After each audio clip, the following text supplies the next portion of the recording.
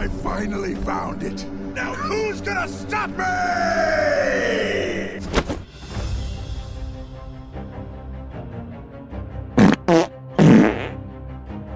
Ah, come on, Blake. Take him to the fridge. Fuck you! You fucking dick! Always naysaying! Everything I create! You piece of shit! You create something! Everybody, it's time. Five Nights at Freddy's Fanverse plushies have arrived at my door. Well, the ones that aren't Blake the Badger. I'm just kidding, Blake. I love you too and your ugly teeth. Oh. Bloodlust!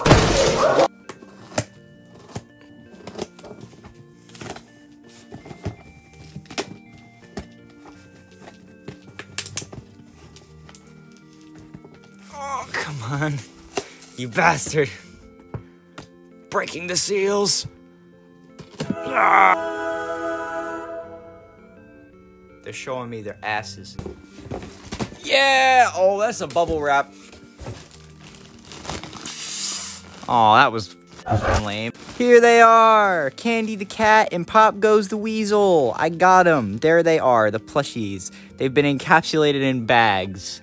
So, uh, what better off, since I've got Blake here and the other two, I'm going to review them. So, uh, I guess we could start with Blake since he's actually out of his packaging. So here is the plush of Blake the Badger. Uh, a little history about this guy. So apparently, Kane Carter, the creator of Popgoes and subset of the Popgoes brand in the Fazbear fanverse, was not told that uh, this was being made. So, yeah, Funko just kind of decided to make this. I don't know why. It's Blake the Badger. no offense, but he's not exactly the most prominent character in the fanverse. If I was Funko, I would have picked a Candy's character first. And it's kind of actually hurtful that they picked this because this is using the old design from Popgoes 2016 rather than Popgoes Evergreen, which is the new reboot, which is what Popgoes is based off of. Blake is based off of his old design, uh, from 2016, which has like a worse quality model and stuff like that, and just not a current design. His design from Evergreen, well, not too different, and then adds some extra accessories and stuff that makes him overall look better. So yeah, this is based off of his old model, uh, and I know Kane said this is going to be in limited run, and they were going to remake him later, but this is basically classic Blake. So if you care about having a character from classic Popgoes, then here you go. This is your this is your chance. Get him while it's hot. And ironically enough, this is actually a really good plush. Uh, the head is really close to the shape that the original Blake has. His pattern on his eyes for being, you know, a badger and having this pattern is very accurate as well. The eyebrows are embroidered. The eyes are more like the modern style of FNAF eyes, where they pick the pop-out look but still give him eyelids.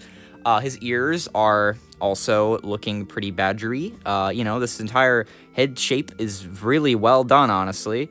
Um, it's all using printing, obviously, but Funko's gotten so much better with their printing. It doesn't really bug me, especially when it's certain patterns like this where it would just kind of not really make sense to make it like separate pieces of fabric.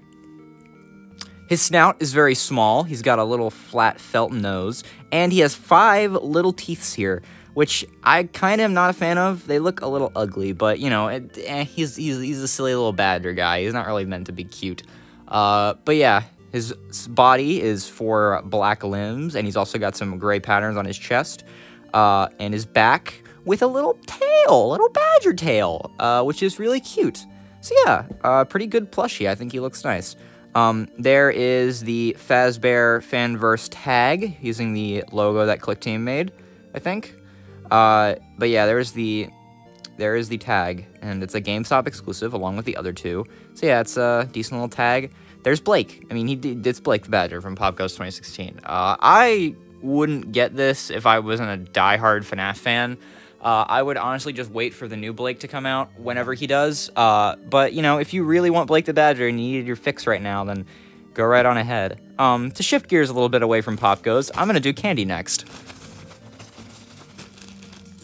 Here he is, Candy the Cat from Five Nights at Candy's. Uh, the fan game made by Emil Macko back in 2016, 2015, I think. I think it was 2015, actually. Um, or at least he started production then. Uh, little backstory about Candy. Uh, this was originally just a character Emil made uh, randomly and posted on Twitter. Uh, a model of, and some guy stole it or made a fake FNAF 3 fan game and put this character in it, and they named it Sugar. Candy did not apparently have a name at the time, uh, which is why they this random person just named it Sugar. And Emil got so pissed off about it that he decided to make a whole fan game about him and his fu funny little cast of friends. Um, but yeah, he is now a plushie and a part of the Fazbear fanverse, and this dude looks amazing. He's so cute. Uh, his colors are perfect. He's got like a perfect, like bright, like nice shade of blue. I love this blue. This is a good blue. Uh, and then also the white parts, the white accents to sort of mandify his face. He is adorable. Uh, he's got his little little red cheeks, rosy cheeks. Uh, his snout is about like as caddish as it gets. He's got a little felt little felt bit on his nose. His two fangs. His eyes are very similar to Blake's. They're brown with the uh, eyelids. Eyebrows are embroidered. The ears are embroidered. There's actually no printing on this plush. Well, okay, that's kind of a lie. There is like these little lines which are technically printed, but who cares? His tie, his like normal tie, looks pretty good. Uh, my only real complaint is probably that it's like stitched at the neck, so it kind of goes up a little bit rather than falling flat like it should. But other than that, Candy looks fantastic. I love this little guy. Kind of wish he had a little kitty tail, but I guess Candy never really had a tail, so I kind of understand why I didn't decide to give him one. Uh, same tag as Blake, Fazbear Fanverse. You know the drill. He looks great. Love this little guy. And last but not least, Popgoes. I mean, what can I say, really? He's amazing in every way. All right, so this plush has some real pros and some real cons.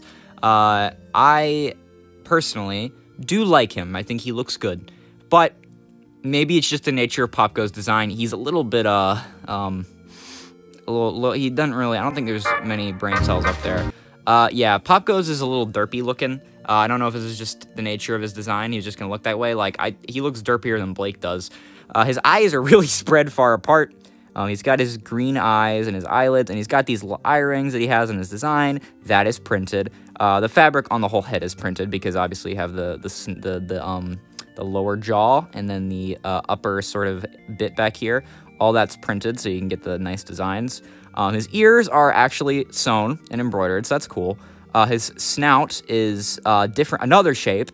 Uh, they've been, th these three obviously are new animals to the FNAF franchise, so they have to have different snout shapes. And I applaud Funko for actually going through the effort and making all their snouts different.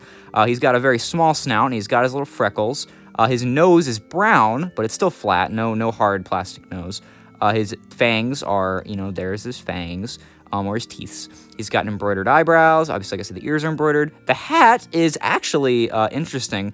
It's a smaller hat like the modern FNAF plushies, but they obviously have this little green accent here, um, which, uh, if you put the hat down, it looks good, but a lot of the times the hat will end up folding upwards, and you kind of can't really see it. Um, so just kind of, you know, try and press it down as much as you can to sort of shape it into place. Uh, his hat looks good though. It's nice, nice green color. It all kind of matches together. He has a brown body with this little like stomach, this tan stomach, uh, and his vest. His vest looks amazing. Uh, it actually sews into the arm, but it comes around and sort of falls on top the front of the stomach and sews into the body. This is a really cool pattern, the way that they uh, did the vest here, and none of it's printed. It's all embroidered on, which is in felt, and it's it's amazing. Uh, the buttons are obviously, um, you know, three little black buttons are printed, but you know, what can you do, honestly? It's a plushie. Uh, in this nice green bow tie, it looks amazing. Obviously, I know Glitchtrap's vest doesn't come up to more than right here, but this is a really good base if they were to make a Glitchtrap plush. I think this looks amazing. Um, but like I said, he has a couple face structural issues, which that might just be the nature of design, or it may just be a Funko problem. I have no idea. But either way, this plush is still really good, but it's probably got some high highs and some low lows. You know, it's just kind of, it kind of it balances out. It balances out. Um, also, I almost forgot his tail. He's got a little, little, little tail. I believe this is the same size as Blake's tail. I think they just used the same pattern for the tail. Um, but yeah, there is Popgoes the Weasel. Uh, same tag, GameStop exclusive, yada, yada, yada. You get the drift. There are all three of our little boys. Um, Obviously, there are the other two fan games in the fanverse, FNAF Plus and uh, The Joy of Creation. We don't know if FNAF Plus's characters are getting any plushies. Uh, I know Phisnom has stated that he wants to wait until the game is actually out before talking about merchandise. And also, uh, you know, the Joy of Creation, we have no words from Nikson if we're going to get merch on that. Uh, and I know that there is a third, uh, last unnamed, um, unnamed uh, fan game, but we don't we don't talk about him. Anyway, should you buy the FNAF Fanverse plushies? I would say yes. These are some of Funko's best in a long time. Uh, the printing is used to the design's advantage. Uh, the plushies overall have great colors, great patterns, um, and you know the printing doesn't feel unnecessary. It's spots that make sense to have it. Uh, even Blake the Badger, you know, this weird design that kind of came out of nowhere. It's still a good looking plush. It's solid. Uh, it's nothing really wrong with it. Um, the other two, you know, Popgoes has some problems, but that might just be his like design base. Candy, I think, is perfect. I don't think they did anything wrong with this guy. This guy is actually just mwah, beautiful. Um, but I think that these plushies are fantastic. I would give them a buy. You know, support the Fanverse guys.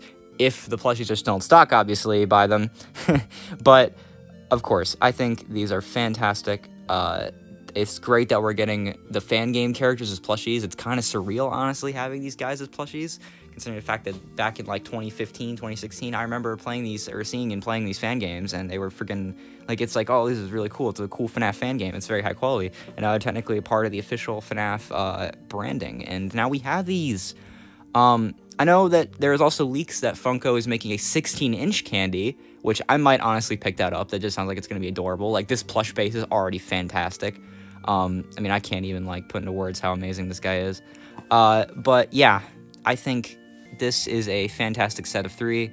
I would suggest at very least getting Popgoes and Candy. If you want to wait for Blake, I get it. Um, but if you're a die-hard FNAF fan, I don't see why not. He's a good plush. Nothing really wrong with him. Keep doing more of these, Funko. Stop doing the stinky, stinky recolors. We don't want those. And, uh, sorry, Blake, you're, you're a side character. I don't really need to... Now we can put Frederick Leopold Fazbear between the two of them. Look at them. They're adorable. Uh, but anyway, thanks you guys for watching. Uh, pick them up if you get the chance. Uh, you know, it's fantastic plushies. Uh, and stay tuned for more stuff. Goodbye, everybody.